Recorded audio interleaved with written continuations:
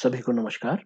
मैं डॉक्टर जितेंद्र पांडे, उत्तराखंड मुक्त विश्वविद्यालय से, और आज हम basic computer organisation and design के अंतर्गत पढ़ेंगे कंप्यूटर इंस्ट्रक्शंस पिछले लेक्चर में हमने इंस्ट्रक्शन कोड के बारे में जाना।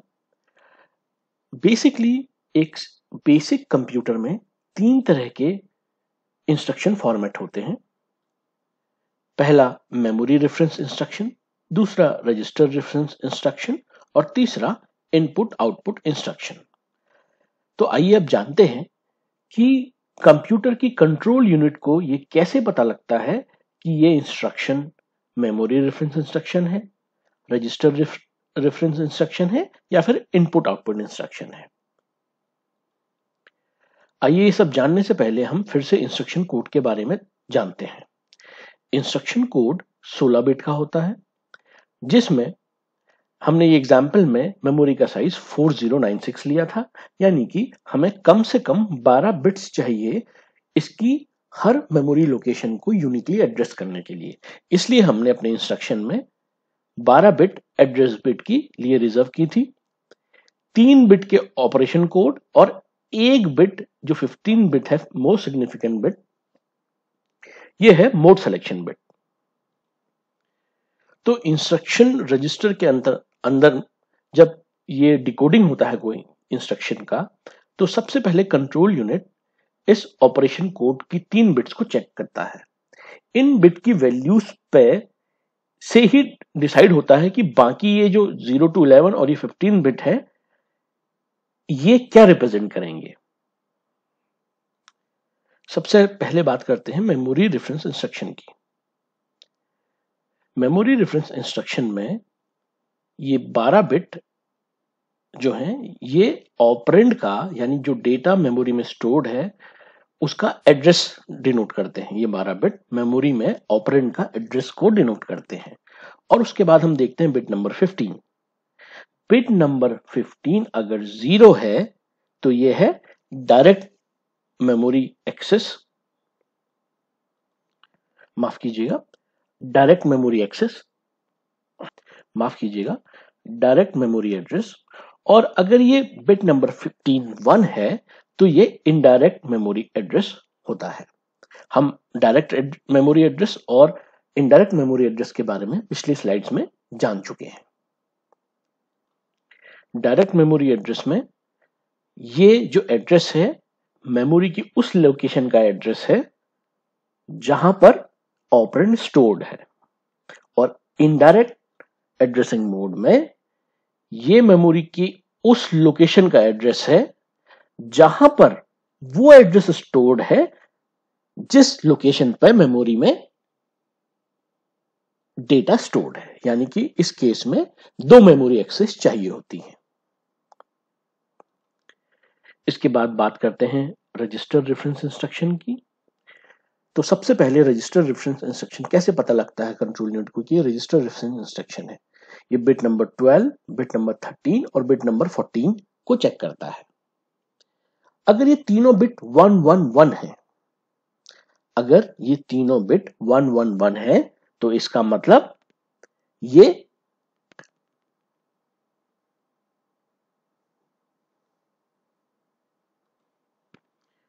तो आइए अब जानते हैं कंट्रोल यूनिट को ये कैसे पता लगता है कि ये रजिस्टर रेफरेंस इंस्ट्रक्शन है। सबसे पहले control unit bit number 12, bit number 13 और बिट नंबर 14 को चेक करती है। अगर ये तीनों बिट 111 है तो फिर ये मेमोरी रेफरेंस इंस्ट्रक्शन नहीं है। तो फिर उसके बाद कंट्रोल यूनिट क्या करता है? वो बिट नंबर 15 को चेक करता है। बिट नंबर 15 जो नॉर्मली मोड सिलेक्शन बिट है। अगर ये तीनों बिट वन वन वन है तो ये मोड सिलेक्शन बिट ना होके ये डिसाइड करती है कि ये रजिस्टर रेफरेंस इंस्ट्रक्शन है या इनपुट आउटपुट इंस्ट्रक्शन है। अगर बिट नंबर 12, बिट नंबर 13 और बिट नंबर 14 तीनों वन है और बिट नंबर 15 ज़ीरो है तो ये रजिस्टर रेफरेंस इंस्ट्रक्शन होगा। और अगर bit number 12, bit number 13, bit number 14 तीनों वन वन वन है और बिट नंबर 15 भी वन है तो ये एक इनपुट आउटपुट इंस्ट्रक्शन है। ध्यान देने की बात यह है कि जिस प्रकार मेमोरी रेफरेंस इंस्ट्रक्शन में ये एड्रेस पार्ट मेमोरी का एड्रेस को डिनोट करता है जहाँ पर ऑपरेंड स्टोर्ड है रजिस्टर रेफरेंस इंस्ट्रक्शन में चूँकि मेमोरी एक्सेस की ज़रूरत नहीं है, क्योंकि रजिस्टर रेफरेंस इंस्ट्रक्शन में जो भी ऑपरेशन होना है, वो रजिस्टर में स्टोर डेटा में होना है, ना कि मेमोरी में स्टोर डेटा पे।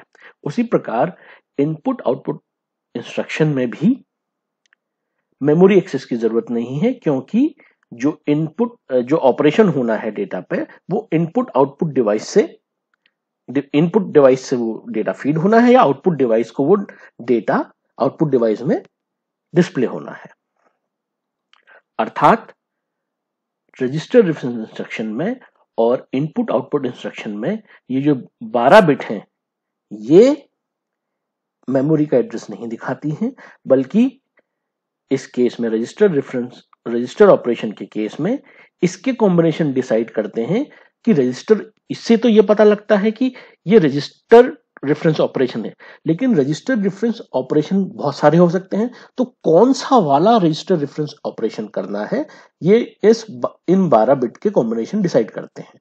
और रजिस्टर रेफरेंस कौन, कैसे हो सकते हैं? जैसे कॉम्प्लीमेंट एक्यूमुलेटर कॉम्प्लीमेंट एक्यूमुलेटर एक ऐसा इंस्ट्रक्शन है, जिसमें एक्यूमुलेटर के जो कंटेंट है एक्यूमुलेटर रजिस्टर के, उसके डेटा को कॉम्प्लीमेंट कर देना है। तो अगेन आप इसमें देख पा रहे हैं कि हमें मेमोरी के रेफरेंस की ज़रूरत नहीं है, बल्कि हमें एक्यूमुलेटर के डेटा को, जो कि एक रजिस्टर है, उसको कॉम्प्लीमेंट करना है तो मेमोरी रेफरेंस की ज़रूरत नहीं है। इसी प्रकार इनपुट आउटपुट इंस्ट्रक्शन में भी ये 12 बिट जो होती हैं, ये बताती हैं कि किस प्रकार का इनपुट आउटपुट ऑपरेशन परफॉर्म करना है। आइए फिर से देखते हैं कि कंट्रोल यूनिट को कैसे पता लगता है कि ये किस तरह का इंस्ट्रक्शन है? तो सबसे पहले control unit bit number 12, bit number 13 और बिट नंबर 14 को चेक करती है। अगर ये तीनों बिट 111 नहीं है तो ये ये बात कंफर्म है कि मेमोरी रेफरेंस इंस्ट्रक्शन है। उसके बाद वो बिट नंबर 15 को चेक करती है।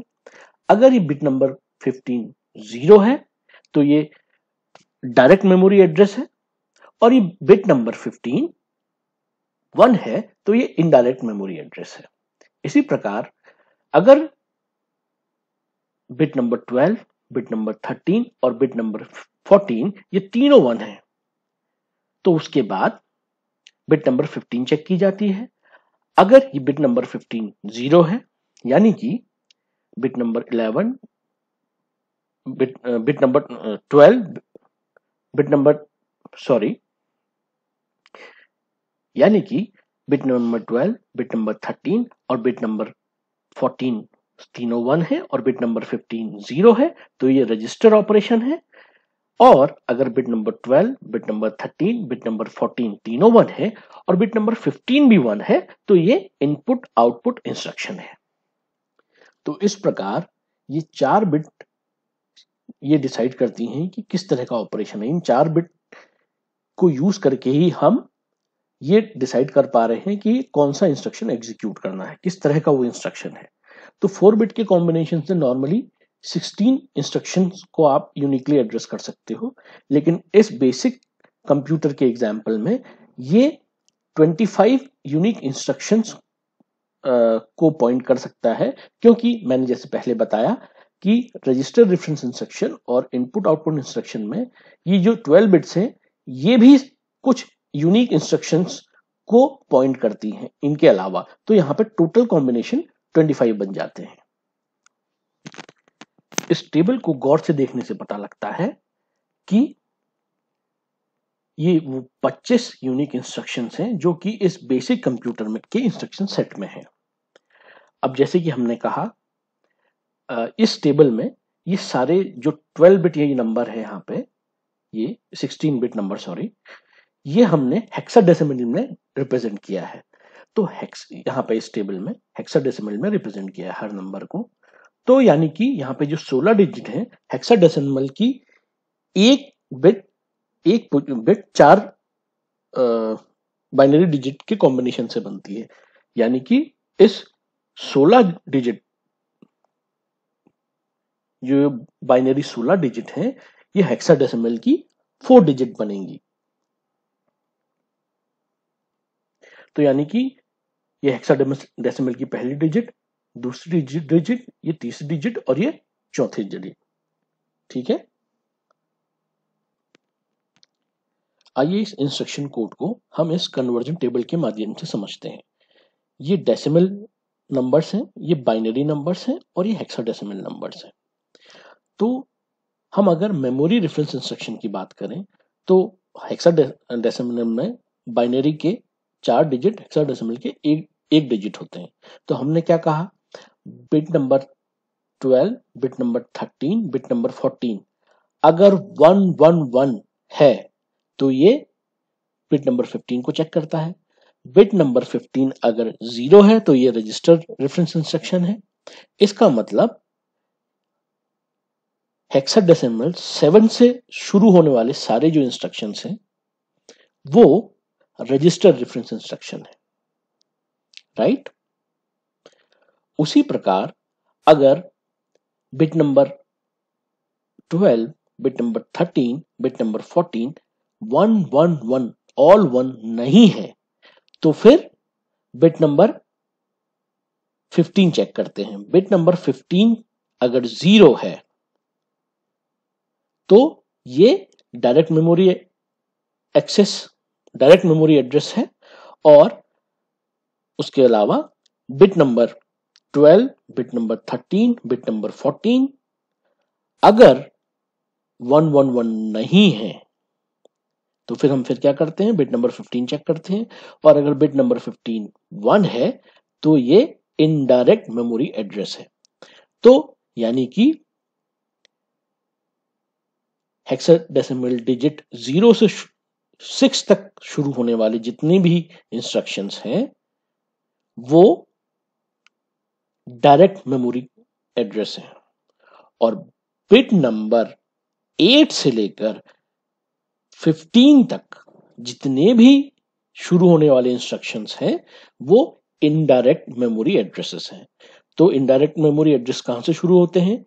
एट से लेकर एफ़ तक, क्योंकि हेक्साडेसिमल में टेन को ए से इलेवन को बी से, ट्वेल्व को सी से, थर्टीन को डी से, फोर्टीन को ई e से और फिफ्टीन को एफ़ से रिप्रेजेंट किया जाता है। अब वापस इस टेबल में आ जाते हैं।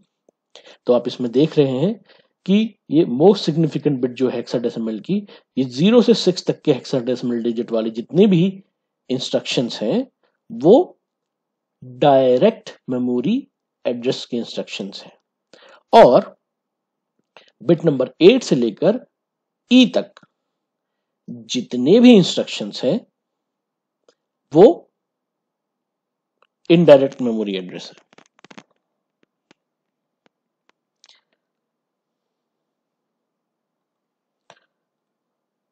और फिर आप देख रहे हैं bit number 12 bit number 13 bit number 14 अगर तीनों वन है और बिट नंबर 15 भी अगर वन है तो ये क्या है? ये है इनपुट आउटपुट इंस्ट्रक्शन यानी कि फिर टेबल पे आते हैं। एफ़ से शुरू होने वाले सारे इंस्ट्रक्शन आप यहाँ देख पा रहे हैं। 16 F is equal to sixteen ये एफ़ से शुरू होने वाले जितने भी इंस्ट्रक्शंस हैं, ये इनपुट आउटपुट इंस्ट्रक्शंस हैं। राइट तो इस लेक्चर में हमने कंप्यूटर इंस्ट्रक्शन के बारे में जाना। अगले लेक्चर में हम इंस्ट्रक्शन सेट कंप्लीटनेस की बात करेंगे। धन्यवाद।